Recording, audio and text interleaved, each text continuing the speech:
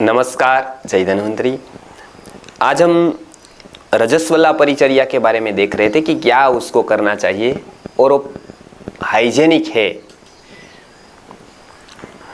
क्या क्या उसका महत्व है? वो हम जब शरीर की स्थिति को, मन को, मन की स्थिति को, प्राण को, प्राण की स्थिति का, को और चेतना और चेतना की स्थिति का जब अध्ययन करेंगे, तब हमको ये अनुभूति होगी, अनुभव होगा कि ये सब कुछ बहुत विचार कर या निर्विचार की अवस्था पर लिखा गया विचार है, वो बहुत ही सूक्ष्म होता है।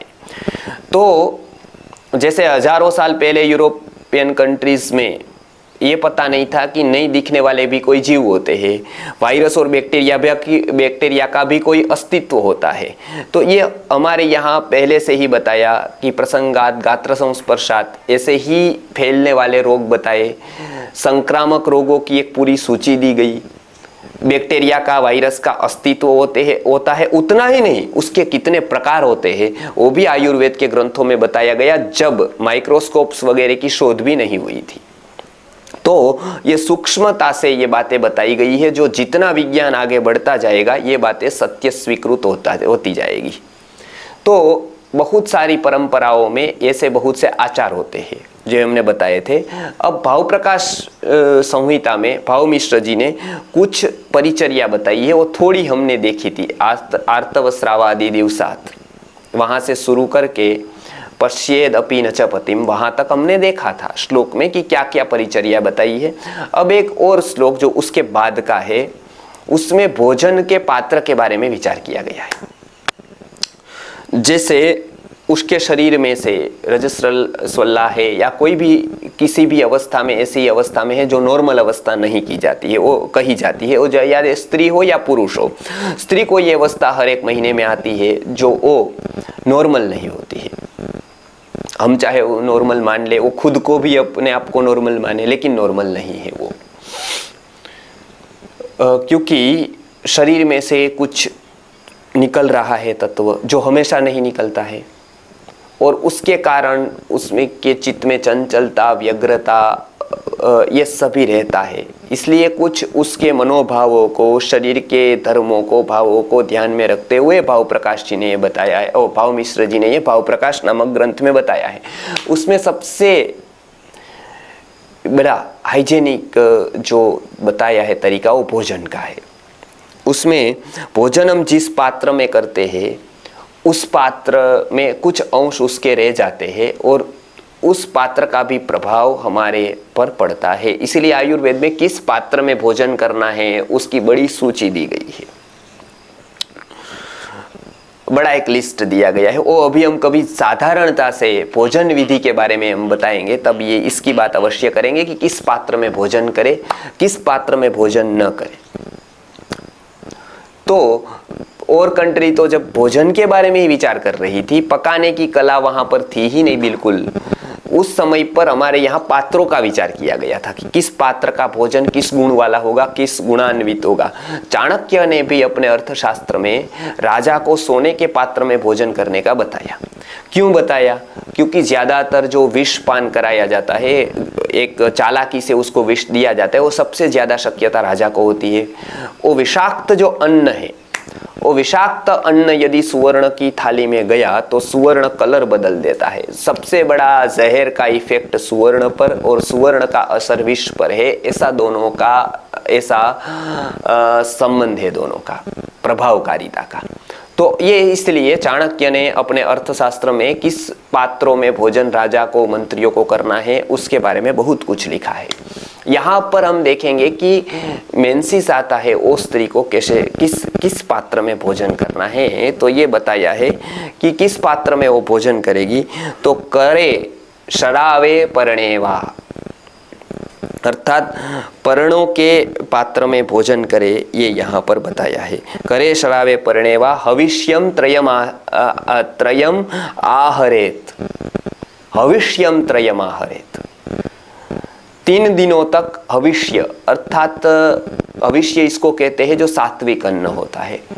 जो हवन करके, जो कुछ भोग लगाकर जो कुछ प्रसाद के रूप में हम लेते तो तामस अन्न लेने का यहाँ मना किया है, अति उष्ण तीक्ष्ण अन्न लेने का यहाँ पर मना किया गया है।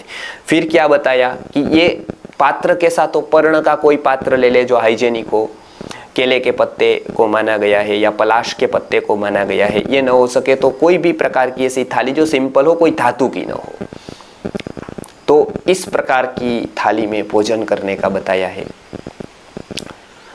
फिर अविष्य अन्न, अर्थात तामस न हो, जैसे प्याज, लहसुन, चटनी ऐसे पदार्थ नहीं खाने हैं उस समय, क्योंकि उष्णता शरीर में है, अंदर टेम्परेचर यद्यपि हम थर्मोमीटर से नापेंगे तो इतना ही नॉर्मल बताएगा, लेकिन एक प्रकार की उष्णता जो बाहर फील नहीं होती है, ऐसी उष्णता शरीर में रहती है, क्योंकि वो उष्णता की वजह से ही वो स्राव होता है। स्राव को करने के लिए उष्णता को करना ज़रूरी हो जाता है। जैसे हम घृत निकाल के लेने के लिए गर्म करते हैं पात्र को, वो गर्म होगा तब तो वो लिक्विफाई होगा। लिक्विफाइड होने के बाद वो निकल पाएगा। उसी तरह से यहाँ पर होता है। तो ये एक बताया कि करे शरावे परणे व हविष्यम त्रयमा हरेत। आगे बताते हैं अश्रुपातम नखच्छेदम नखच्छेदम अभ्यंगम अनुलेपनम। अश्रुपातम नखछेदम अश्रुपात नहीं करना है, आँसू नहीं निकालने हैं, क्योंकि वो दुखी रहेगी तो प्रभाव सबसे ज़्यादा गर्भाशय के ऊपर, सबसे सेंसिटिव स्थान हो रोना भी सेंसिटिव अवस्था में, उसका प्रभाव गर्भाशय पर।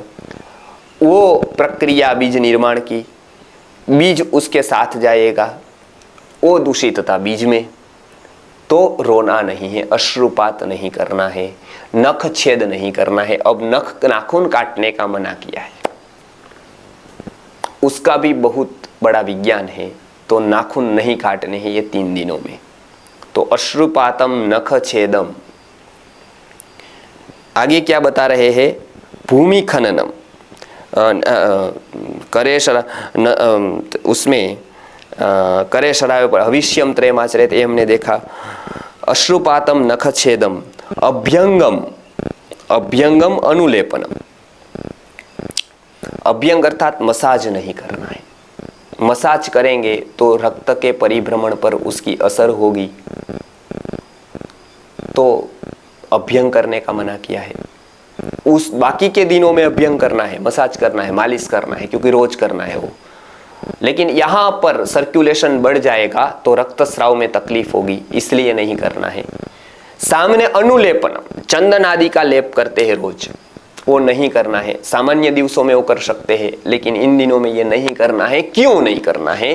क्योंकि उससे परिभ्रमण थोड़ा कम हो जाता है। जैसे शांत होता है तो उस तरह से शांत हो जाता है। जो जो रक्त के परिभ्रमण को उत्तेजित करने वाली बात हो, उसको भी छोड़ने के बत, छोड़ने का बताया है। और जो जो ये परिभ्रमण को शांत कर देती है, उसकी गति को थोड़ा कम कर देती है, उसका भी मना कर, किया गया है। तो अभ्यंगम अनुलेपनम। तो ये पूरी परिचर्या ये श्लोक में बताई कि करे शरावे परणेवा हविष्यम त्रयमा हरेत, अविष्य का सन अश्रुपातम नखछेदम अभ्यंगम अनुलेपनम। तो इतनी वस्तुएँ करने का भाव मिश्र जी मना कर रहे हैं स्त्रियों को कि इतनी चीज़ें निषिद्ध है, ये न करें। उसका हम साइंस देखेंगे। एक एक एक एक का तो मैंने स्थूल रूप से तो बता दिया है कि ये ये क्या क्या प्रभावकारी है। हम आसानी से वो समझ सकते हैं कि जो परिभ्रमण को उत्तेजित न करे और परिभ्रमण को एकदम शांत न करे। जो प्रवाह है, वो प्रवाह को बनाए रखे, ऐसी सब क्रिया कर सकते हैं। लेकिन ये प्रवाह को रोके और ये प्रवाह को वेग दे, ऐसी क्रियाएँ नहीं कर सकते हैं। तो ये ये श्लोक का ये फलितार्थ हुआ। ये भाव मिश्र जी भाव प्रकाश नाम के ग्रंथ में इसका विवरण करते हैं। आगे और भी विवरण करते हैं, क्या करना चाहिए, क्या नहीं तो ये निषिद्ध बातें हम फिर से अगले श्लोक में लेंगे। नमस्कार, चैतन्य मंत्री।